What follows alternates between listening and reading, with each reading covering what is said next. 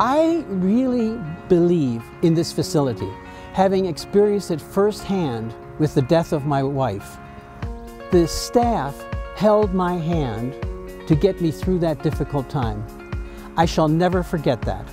And I recognize that all the fundraising that is done goes directly to the care of patients. I get solicitations from many sources. I always worry, where is the money going? Here, it's very clear. It's to take care of the residents who live the last days of their life in this wonderful facility. That's why I believe in it so strongly. It's like a family. We're all in this together to support our Hospicare facility.